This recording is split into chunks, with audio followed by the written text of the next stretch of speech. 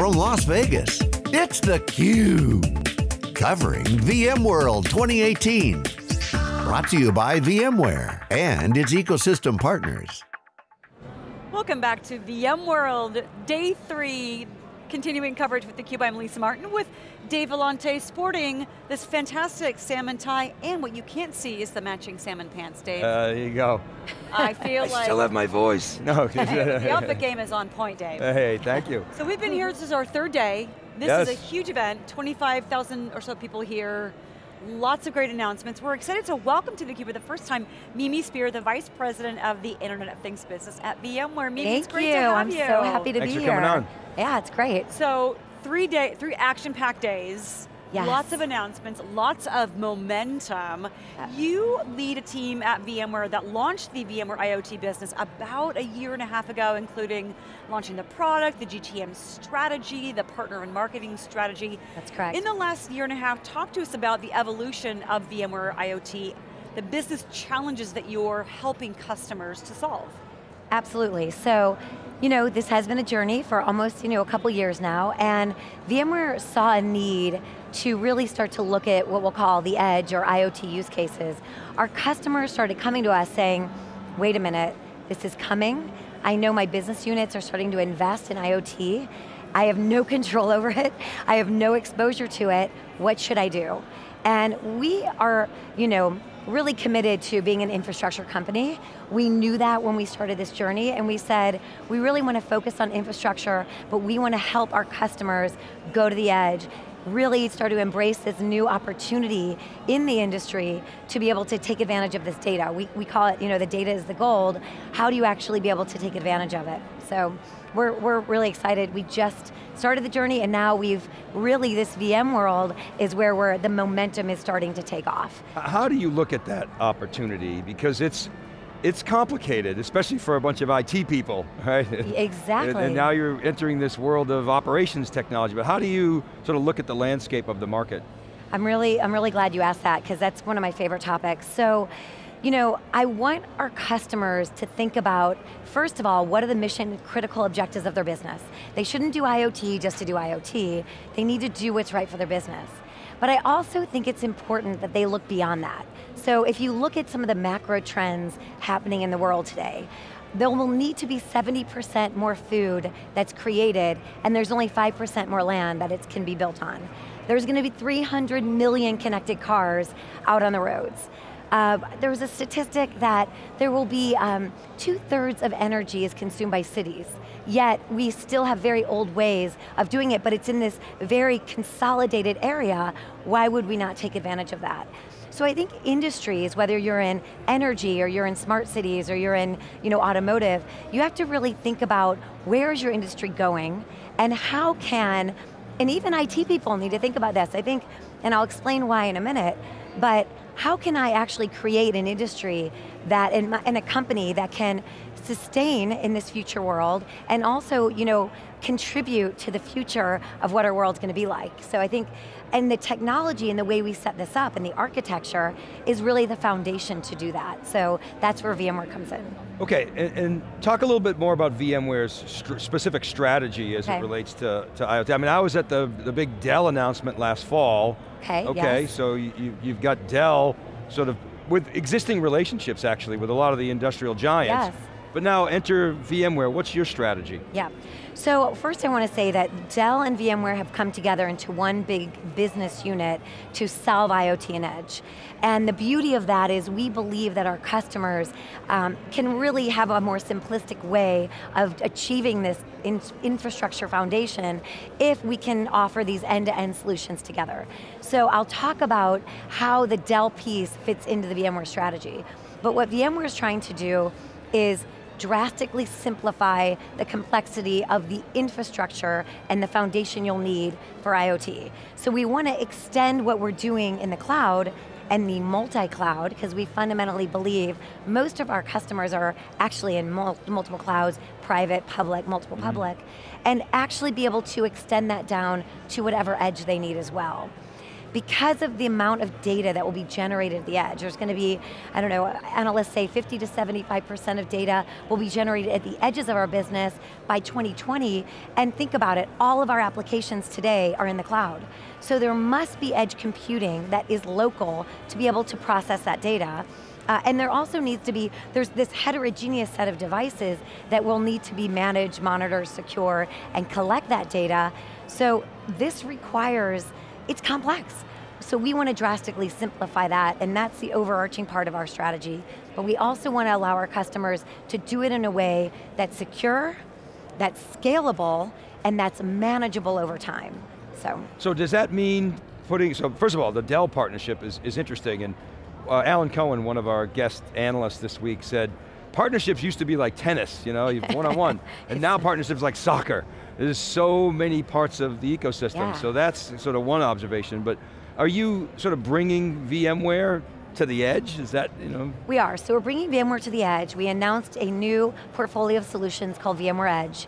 It will take advantage of the ability to do the compute edge, which is mm-hmm. the processing at the edge, and really extending our hyperconverged technology as a service, like we're doing for VMC on AWS, to the edge, and it includes our device edge. And there's a lot of things All that right. is happening on the device edge, which is like gateways and things, um, that we want to help provide a more software-defined approach, as well as ensure that those can be managed, monitored, secure across all the diverse set of, of devices. Now, you can't do that alone. The ecosystem you mentioned, I've never seen any, you know, in my history of, of my career, the amount of collaboration that's going on across the ecosystem because IoT is so hard. So you really do need to collaborate. And we are collaborating with the IoT platform providers, the gateway and, and the thing providers, you know, the hardware providers, the system integrators. It requires that to be successful.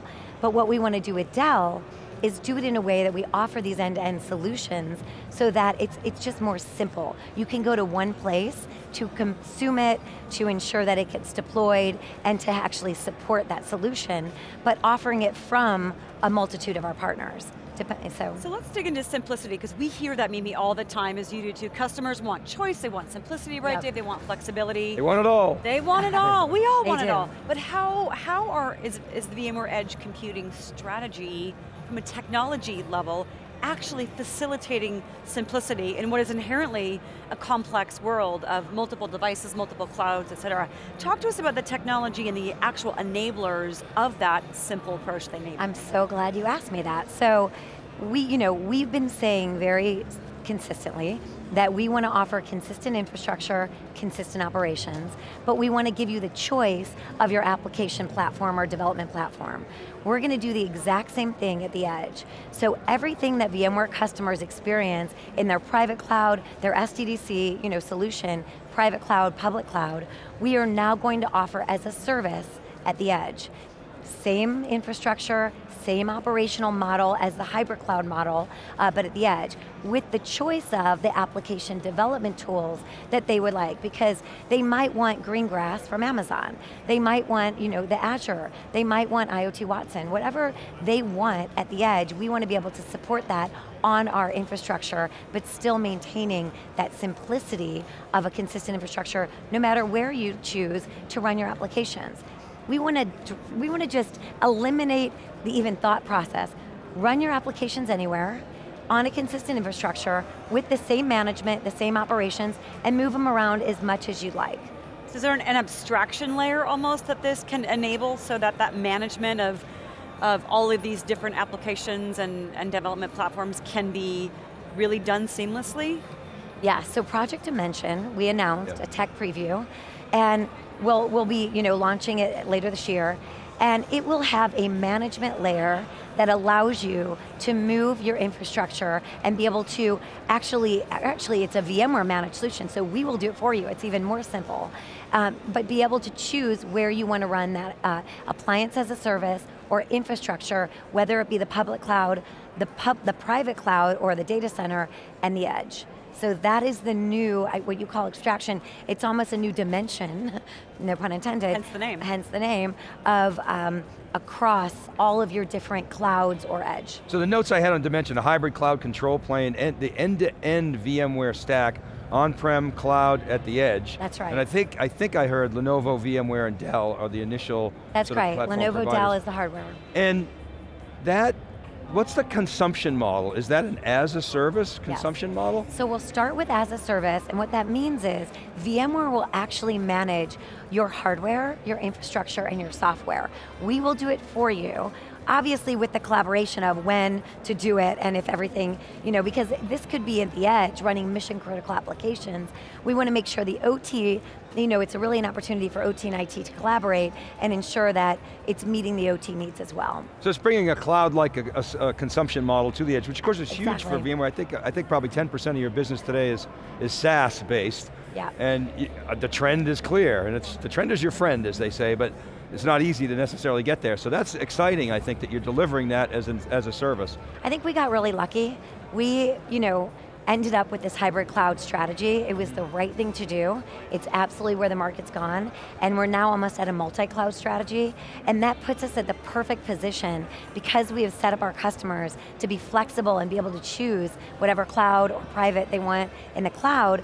We are very easily able to extend that to the edge. So it puts us in a very good position. You know, talking about the ecosystem again, I mean, the IoT, it's, I mean, it's every industry, every sector, every size of company, and I want you to discuss the ISV piece of this. It's a very complex situation. I would love to talk about ISVs. Yeah, but it's, there's so many ISVs, it makes your eyes bleed when you look at the, the list of ISVs. It's hard to, hard to figure out, okay, who's real, who's not, and Yep. who to partner with. How are you guys sorting out all that out? Okay, so we are the infrastructure. What is beautiful about that is we are not competing with the ISVs at all. Right. So they all want to work with us.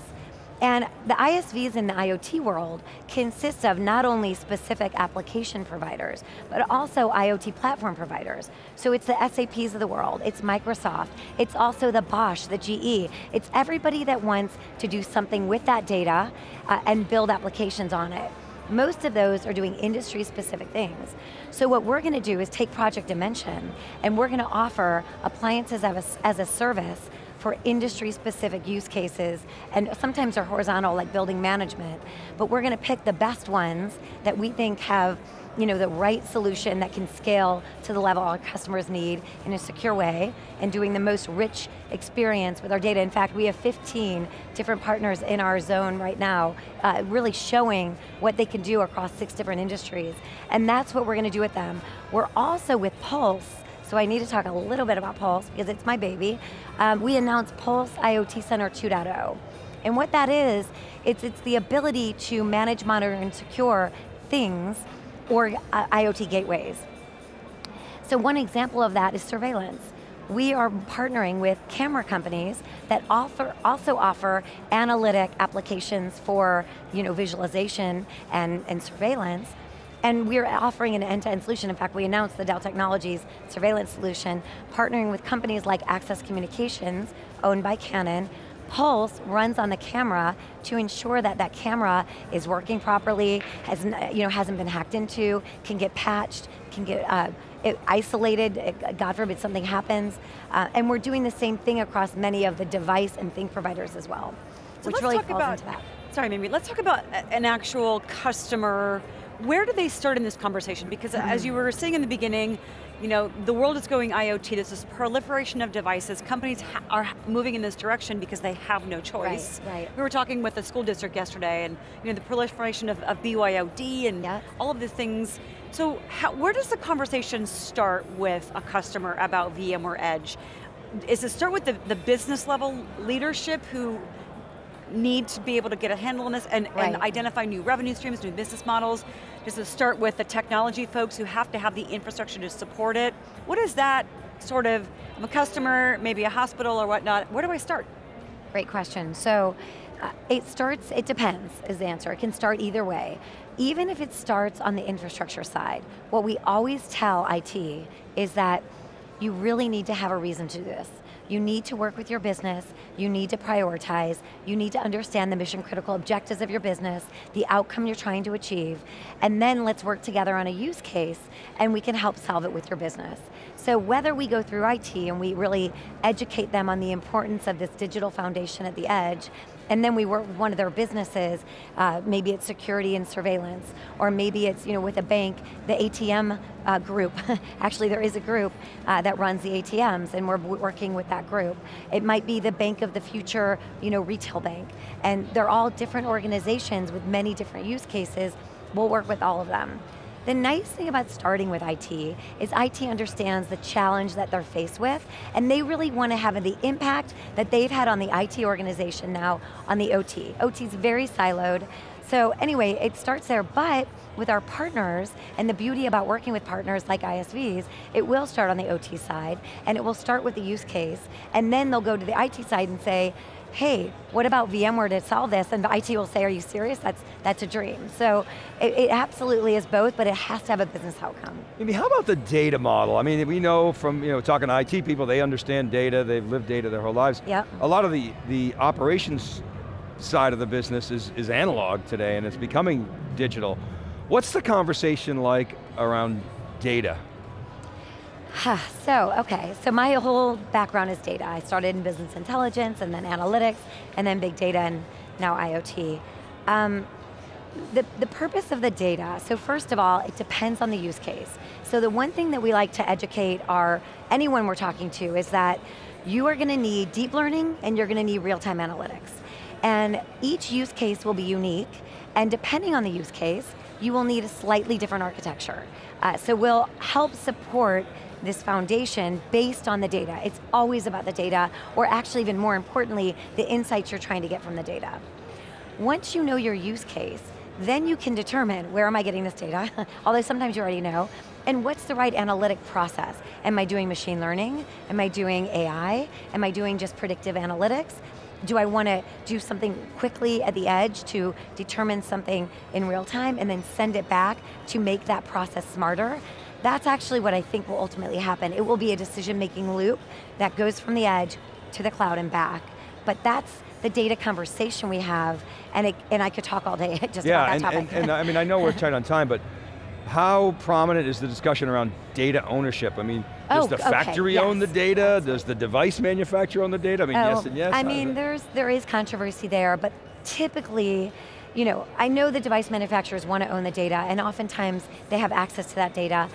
I, you know, every industry is slightly different, mm -hmm. but at the end of the day, the customer should, should own the data. I mean, they should at least have access to that data. And we will always say in our situation, the customer, the data is yours. And we will work with the, both of those organizations, because those will be our constituents to a use case, and we will do what's right for that use case, and hopefully everybody wins. I, you know, it really does depend. Uh, if it's a car manufacturer, they have to own the data because they have to make sure that car is safe and secure.